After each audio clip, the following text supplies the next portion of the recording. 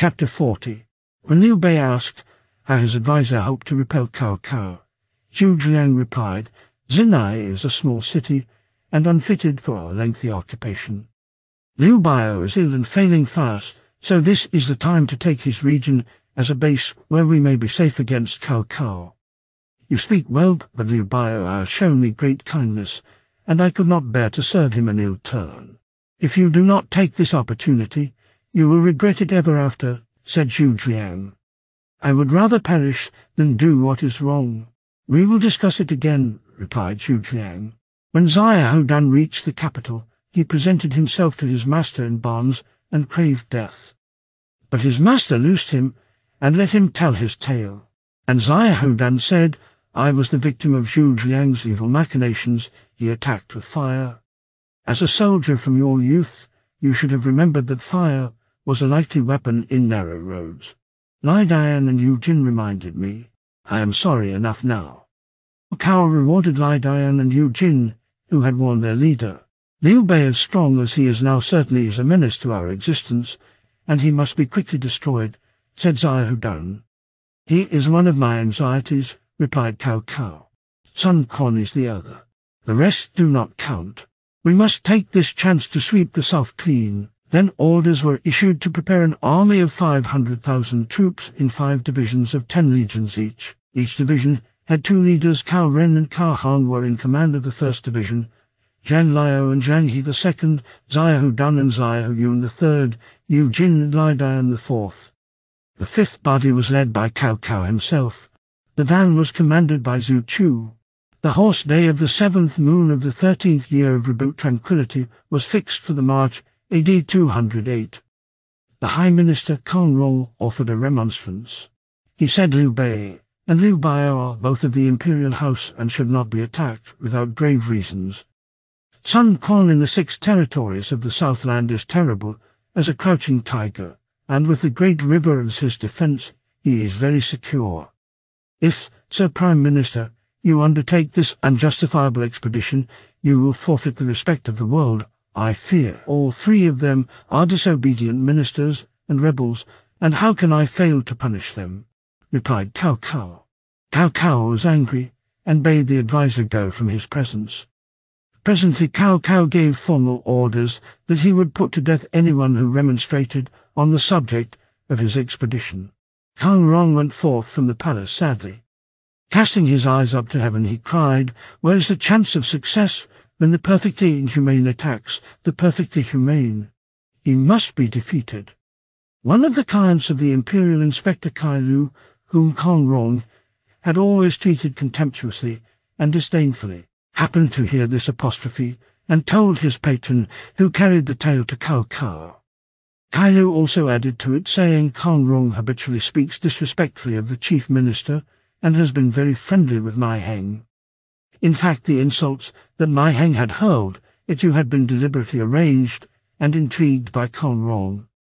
Kong Rong and Mi Heng seemed to admire each other hugely, and Mi Heng used to say Confucius is not dead because Kong Rong is he, and the other used to reply, and his treasured disciple, Yan Hui, has risen again because Mi Heng is he.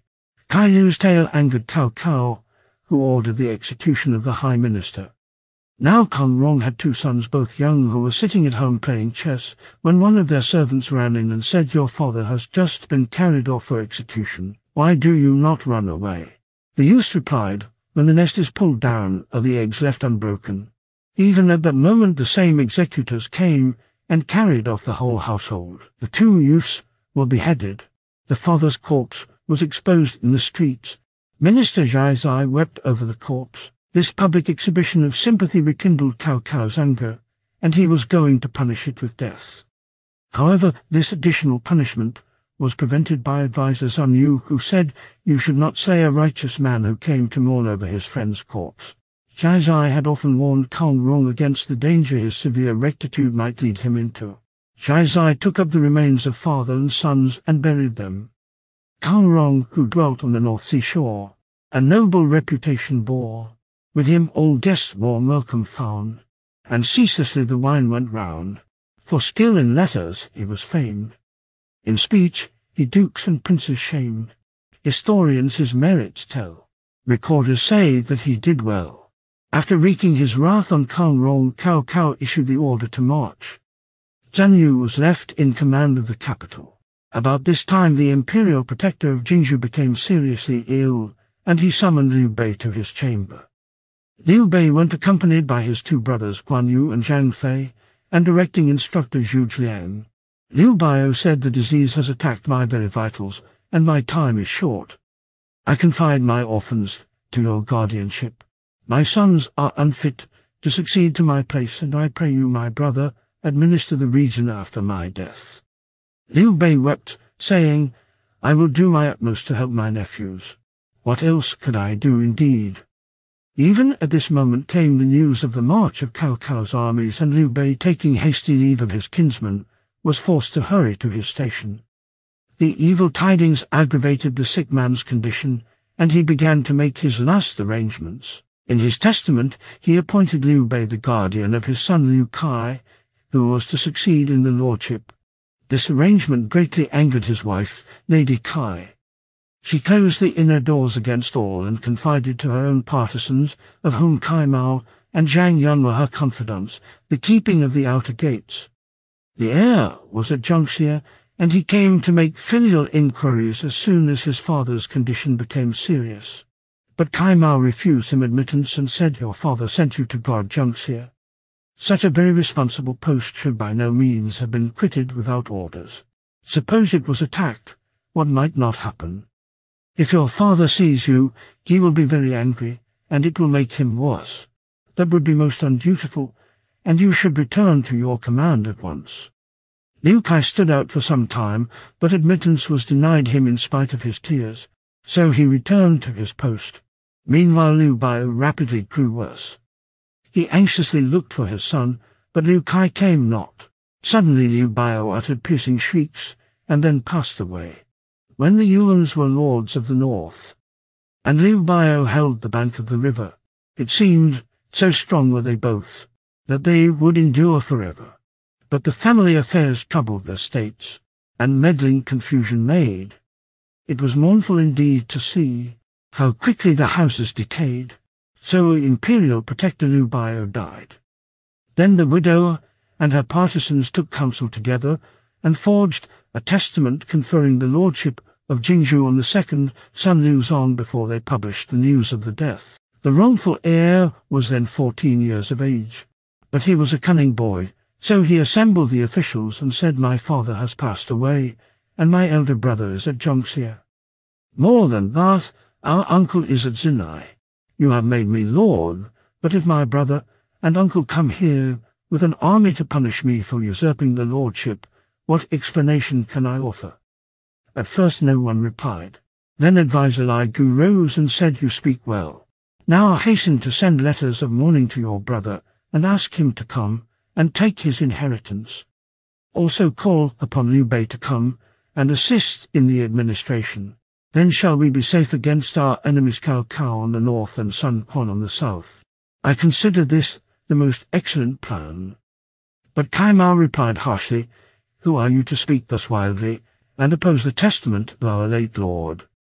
Gu began to abuse him, saying, You and your party have fabricated this testament setting aside the rightful heir. Now the whole region is in the hands of the Cai family. If our dead lord knew your doings, he would slay you. Cai Mao ordered the lictors to take Li Gui away to execution. He was hurried out, but his tongue ceased not. So the younger son was placed in his father's seat, and the Cai clan shared among them the whole military authority of the region. The defense of Jingzhou was confided to Lu Xin and Deng Yu, while Lady Cai and her son took up their residence in Xiangyang so as to be out of the reach of the rightful heir and his uncle. They interred the remains of the late imperial protector on the east of Xiangyang near the bank of the Han River. No notice of the death was sent to Liu Qi, the son, or to Liu Bei, his uncle. Liu Cong arrived at Xiangyang, but before he had had time to recover from the fatigue of the journey, the startling news of the approach of Cao Cao's great army came in. He summoned Kuai-yu and Cai Mao and others to ask counsel. One of the secretaries, Fu Chuan, offered his advice, saying, Not only are we threatened by a great army from the north, but the elder son, who is the real heir Jiangxia, and his uncle at Xinye, are to be reckoned with. These two have not been notified of the death, and they will resent that. We shall be in sad case if they also march against us. But if you will adopt my suggestion, then our people will be as steady as Taishan mountains, and our young lord's position and rank will be assured. What is your plan? asked the young lord. To offer the whole region to Cao Cao, who will treat our young master most liberally. What advice? said Liu Cong angrily. Am I to yield my heritage to another before I have even fairly succeeded to it? The advice is good, said Yu. Opportunism is a policy, and possibilities need consideration. In the name of government, Cao Cao is fighting against his neighbours. If our Lord opposes him, he will be termed contumacious. Beside any misfortune on our borders before our young Lord is well established will react upon the internal administration, and our people will be panic-stricken at the mere news of the approach of a hostile army. How could we then offer any resistance? Liu Cong replied, It is not that I disagree with you but I should be a laughing stock to the whole world were I to abandon my heritage without an effort. He was interrupted by a speaker, who said if their advice is good, why not follow it? They turned toward the speaker, who was a certain Wang-Can of Shenyang, a lean, cadaverous individual much below the middle height of a man. However, his talents did not conform to his physical appearance. When he was yet a youth, he went to visit Minister Cai Yong, then a vice-chairman of the Secretariat. And although many guests of exalted rank were present, the host hastened to welcome the newcomer with the greatest deference. The others were astonished and asked why he was so respectful to a mere youth. He is a young man with the highest gifts, said Cai Yong. Wang Can was widely read and had a most retentive memory, better than any of his contemporaries. If he glanced at a roadside monument as he passed, he remembered every word of the inscription. If he saw people playing chess and the board was suddenly overthrown, he could replace every pip in its proper place. He was a good mathematician, and his poems were exquisite. At seventeen he was appointed a court official, but did not take up the appointment. When the disturbance in the empire grew serious, he sought refuge in Jingzhou, where he was received with great honour as guest of the imperial protector. What he said was this, General, how do you compare with Cao Cao? Inferior, replied Liu Cong. Wang can continued Cao Cao many soldiers and bold leaders. He is able and resourceful. He took Lü Bu at Xiapi and broke the power of Yuan Shao at Guandu. He pursued Liu Bei into Longyu and destroyed Mao Dan at White Wolf Hills. The destruction of such firmly established men shows his invincible character. Now he is on the way here, and it will be very difficult to withstand him. The plan proposed is the best you can expect, and you should not delay and hesitate till it is too late for aught but regret. Worthy sir, you indeed speak to the point. I must inform my mother, said the young ruler. But just then they saw his mother appear from behind a screen. She had been listening to all that was said. Why refer to me when three such gentlemen coincide in their opinions? said Lady Cai. So Liu Cong decided, and the letter of surrender was composed and entrusted to one Song Zhong to convey secretly to Cao Cao. Song Zhong went straight to Wan Cheng and presented the letter. It was received with joy and the bearer well rewarded. The submission was accepted, and Cao Cao said tell Liu Cong to go out to meet me in the open country, and he will be in perpetual tenure of his land. Song Zhong left the city and took the homeward way. He had nearly reached the ferry when he fell in with a party of horse. On a closer look he saw the leader was Guan Yu. The messenger tried to escape observation, but was presently captured and taken to the leader to be questioned. At first he prevaricated, but on being closely questioned told the whole story. Then he was carried off to Xinye and made to retell his story to Liu Bei, who heard it with lamentations. Zhang Fei said, This being so, I propose that we put this fellow to death, then cross the river, attack Xiangnan, and make an end of the Cai tribe, and Liu Cong as well. Then we can attack Cao Cao. But Liu Bei replied, Hold on, I have something more to say. Then turning to the prisoner, Liu Bei shouted, When they did all this, why did you not come to tell me? As things are now, there is nothing to be gained by killing you. You may go. Song Zhong stammered his thanks, threw his arms over his head and ran away. Liu Bei was very sad. Presently Yi Ji from Jiangxia was announced. Liu Bei was very fond of this man, and went down the steps to welcome him. Then said Yi Ji, The heir has heard that his father is dead, but his stepmother and her family are keeping back the news so that they may set up Liu Cong. He knows the news is true, as he sent a special messenger to find out. He thinks you, O prince, may not know and has sent me to inform you, and his letter begs you to lead all the troops you can to Xiangyang to help him assert his claims. Liu Bei opened and read the letter. Then he said yes. You know that the younger son has usurped the lordship, but you have not heard that he has already sent to offer Jingzhou to Cao Cao. This news shocked Ji, who asked, How know you this? Liu Bei told of the capture of Song Zhong. Yijai said, You can go to Xiangyang Ziv to attend the morning ceremonies and so draw Liu Cong into coming out of the city to welcome you. Then you can seize him, slay his party, and take the region. Your advice is good, said Zhuge Liang, and my lord ought to take it. Liu Bei wept, saying in his last interview, My brother confided his son heir to my care. If I lay hands upon another son and seize upon the inheritance, how shall I be able to look my brother in the face when I meet him by and by beyond the grave? If you do not act in this way now, how will you repel Cao Cao, who has already reached Wancheng? said Zhuge Liang. Our best plan is to take refuge in Fancheng, replied Liu Bei.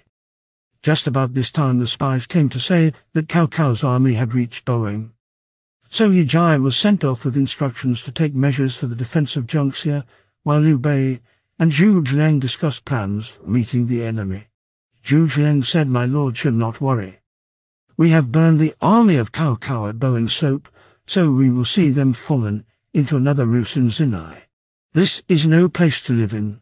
We will move over to Fancheng. Then notices were posted at all the gates that all the people, without any exception, were to follow their ruler at once to the new city to escape danger.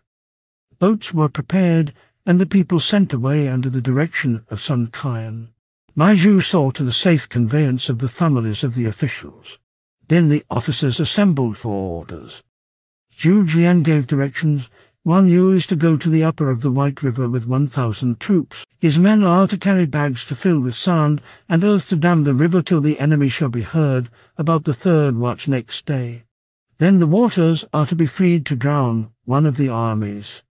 He is then to march down river. Zhang Fei is to go to the Bowling Ferry, where the current is slow.